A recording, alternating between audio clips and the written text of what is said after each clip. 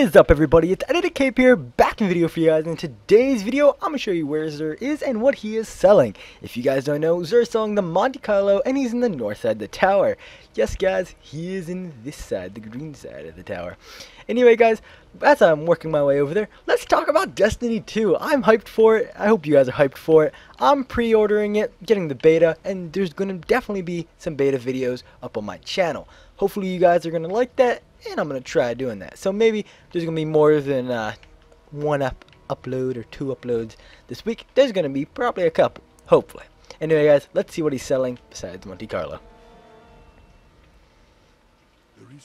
Alright, so he is selling Monte Carlo at 350 attack, the Starfire Protocol at 350 defense, the Chest of Alpha Lupi at 350 defense, and of course the immolation, I don't know, something fist.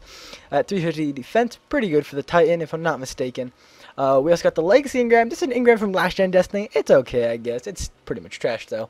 Um, we also got Weapon Bottles, Dragon's Breath, and Tiger Shark, and this is a rare one. Suros Regime and Basilic's Glory, I guess? But yeah, that's an actual rare ornament, so definitely suggest buying that. For curious items, we have Plasma Drive, Emerald Coil, Heavy Ammo Synths 3 and Heavy Ammo Synths 10. So just getting the 10, it's a better buy. Trust me, guys. We also got 3 of coins and glass needles. For material exchange, we have strange coins for motes of light and strange coins for exotic shards. Anyway, guys, see you guys later and see you guys in the next.